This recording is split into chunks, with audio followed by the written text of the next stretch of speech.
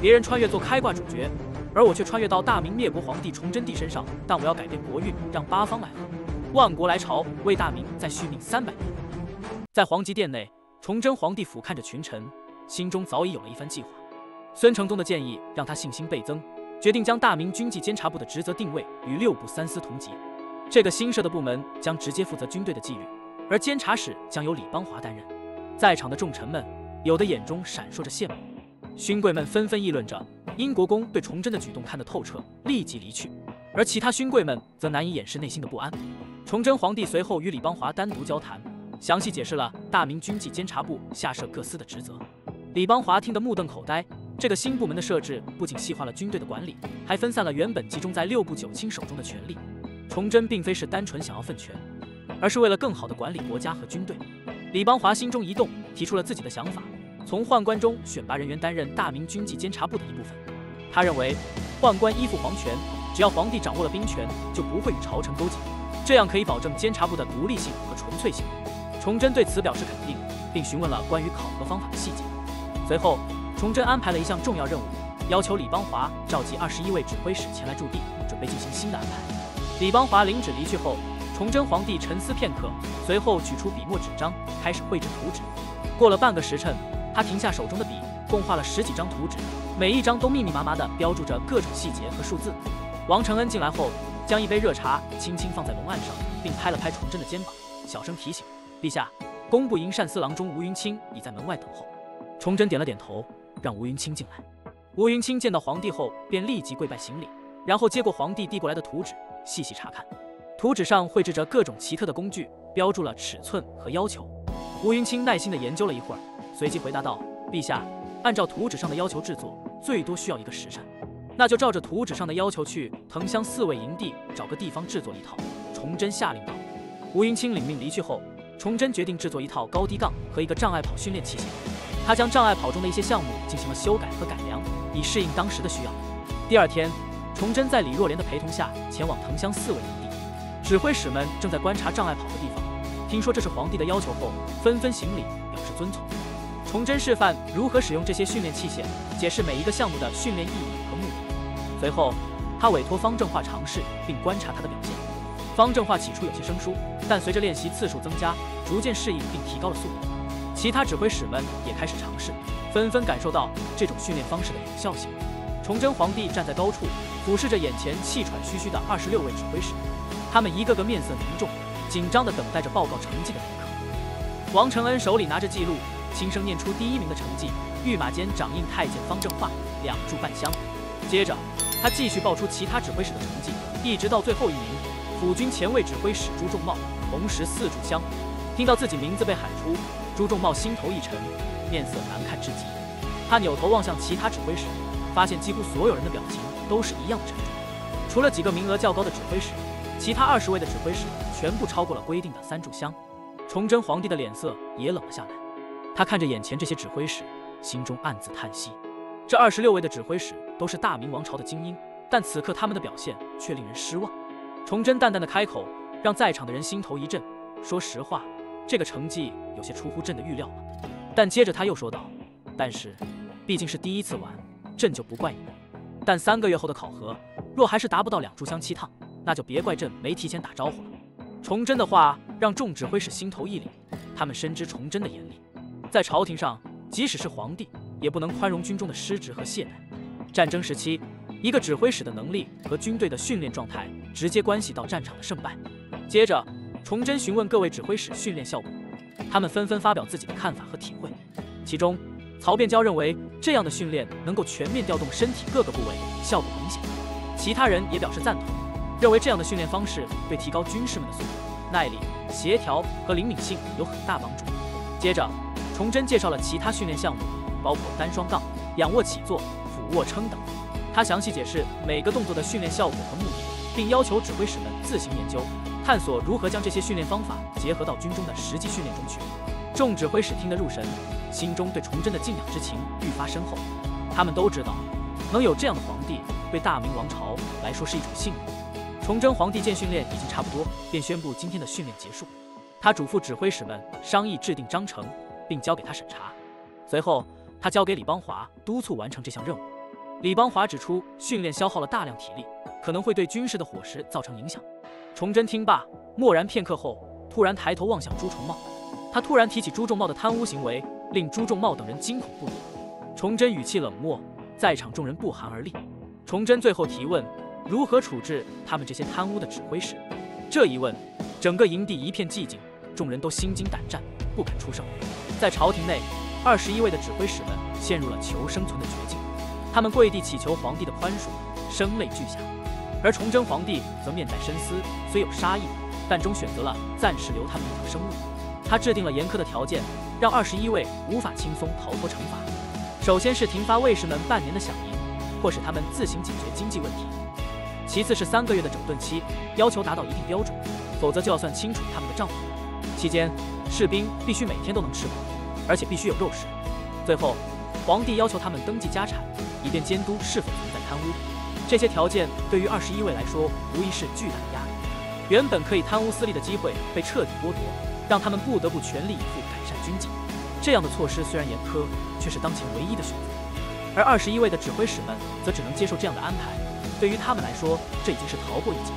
为了适应新的训练标准，二十一位开始了激烈的。各个指挥使们纷纷下令，要求军士们每天都要进行严格的训练，而且要保证他们能吃饱、有肉食。为了激励士气，他们还设置了各种奖励机制，让士兵们有了更大的动力。在这样的环境下，二十一位的训练变得异常火爆。他们不再是过去懒散的模样，而是全力以赴地投入到了训练之中。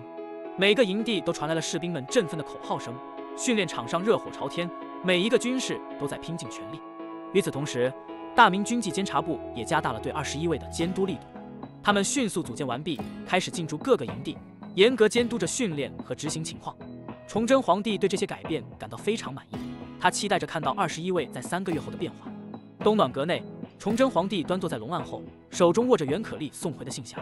信匣中共有三封信，首封是来自马祥林的，紧接着是两封袁可立的。崇祯缓缓打开马祥林的来信，目光沉静地在纸上游移。马祥林的字迹稳健有力，汇报了在白水一战的胜利，并详细描述了接下来的追击行动。他派出了三千精锐兵力进入黄龙山，成功斩杀了近千名叛乱之人，俘获数百，还有两百余人仍然未被歼灭。崇祯心头的焦虑渐渐消散，有了马祥林这样的熟悉山地作战的将领在，对付剩下的敌人应该不成问题。随后，崇祯转而阅读袁可立的来信，袁可立的文字虽然简洁，但却充满了实质性。他详细报告了陕西赈灾的进展情况，包括灾民的数量增长、粮食储备情况以及各项工作的稳步推进。袁可立的组织能力和管理水平令崇祯感到欣慰，尤其是他提供的各项数据和记录，让崇祯对灾区的救助工作充满信心。然而，当崇祯看到信中提到的士绅富商涨价和秦王府的参与时，他的脸色变得阴沉起来。袁可立报告的严峻情况让崇祯感到震惊和愤怒。他们不但在灾难中贪婪地谋取私利，永寿郡王还直接参与了民变，这种背叛行为让崇祯无法容忍。崇祯闭上眼睛，深吸了一口气。然后站起身来，他命令将内阁和六部的官员召集到东暖阁，希望能够共同商讨对策。这个时候，他不得不思考如何应对秦王府的叛乱行为，以及如何维护大明朝的权威和稳定。内阁首辅孙承宗等人看完信后，纷纷表示对士绅富商和秦王府的行为感到震惊和愤怒。他们一致认为，对于这种叛国行为，应该严厉惩处，以儆效尤。刘宗周更是建议废除秦王府。将参与者罚款抄家、斩首示众，以示惩戒。东暖阁内氛围沉寂，众群臣无言以对，因为袁可立信已经确凿地表明了要对秦王府实施抄家灭族的惩罚。在这种情况下，他们根本无法辩驳。孙承宗沉默片刻，终于开口了，他向陛下陈述自己的观点。孙承宗的言辞立刻引起了众人的震惊，因为他直言不讳地指出了一个触及底线的话题：陛下是否因为稳固皇权而不容忍亲王存在？这番言论无疑是对新帝的质疑，尤其是当今的皇帝正是由亲王登基而来。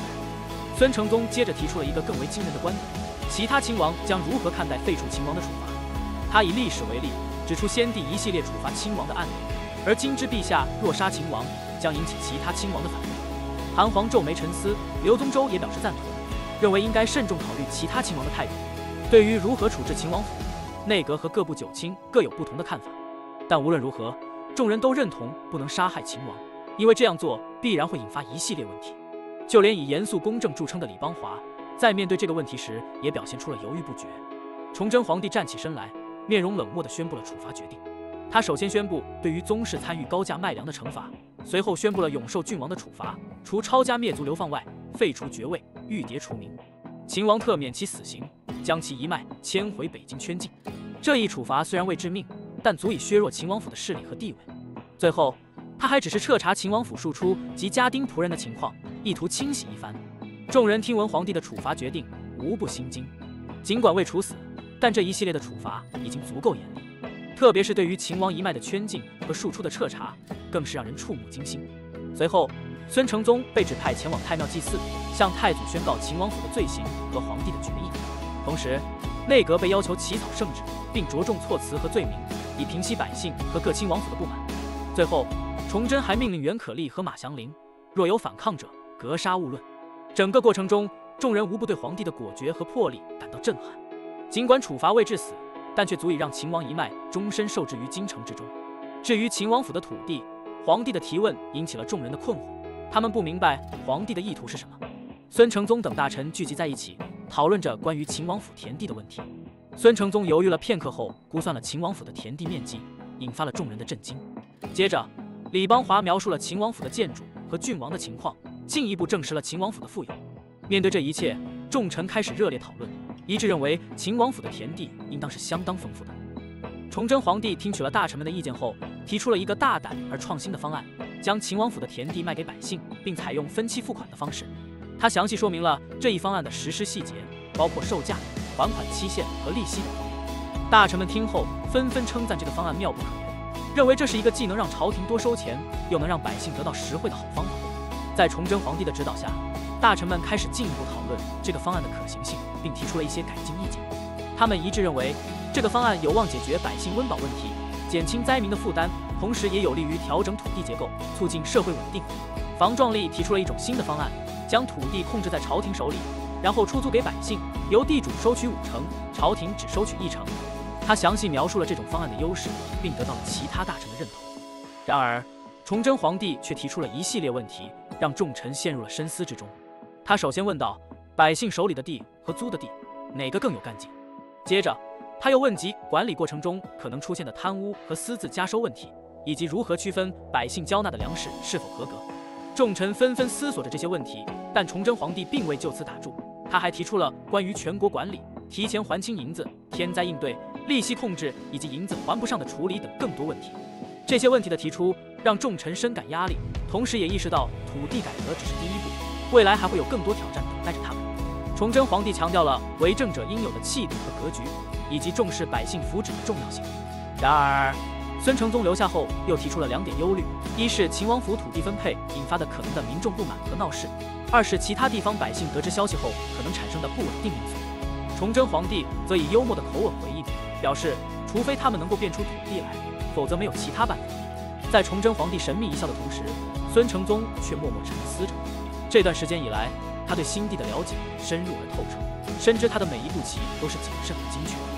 从秦良玉、李邦华进京，到抄家弄银子，再到成立大明日报和黄德功等人回京，以及今日的大明国土资源管理局，每一举动看似突然，实则早有谋划。孙承宗开始怀疑起秦王府的事情是否早已为皇帝所知，毕竟分期付款的提议似乎并非临时起意。他的思绪不断纠缠着，直至突然间。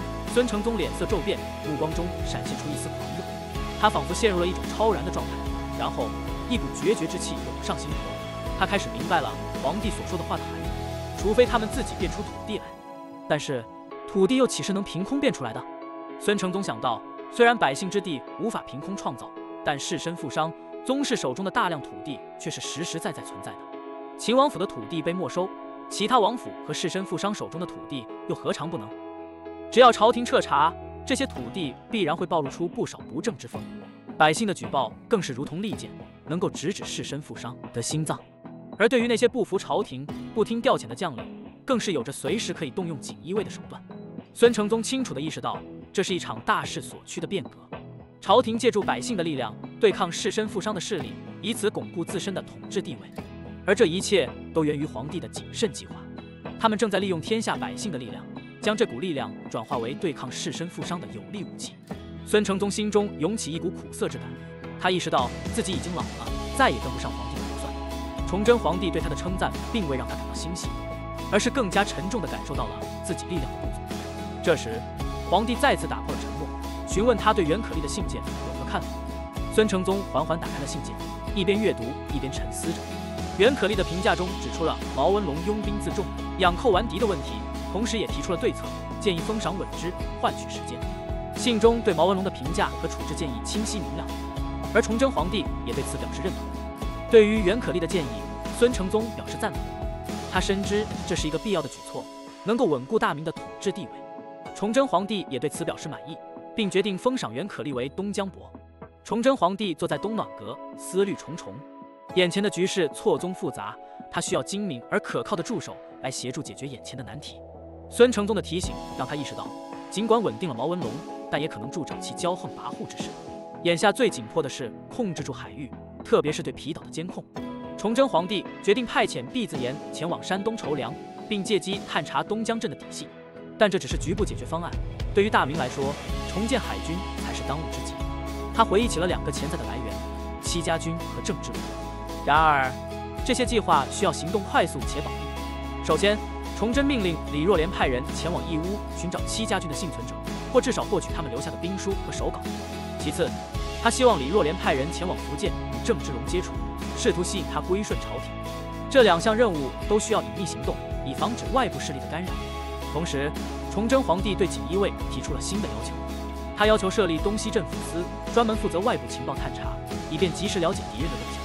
此外，他命令设立锦衣卫内的银库，并规定每次办案时截留一成财产，用于奖励忠诚之人和支持锦衣卫的活动。这些措施旨在加强朝廷的控制力量，同时遏制贪腐之风。崇祯皇帝还询问了宋应星、陈振龙、毕茂康、徐光启和孙元化等人何时抵达北京。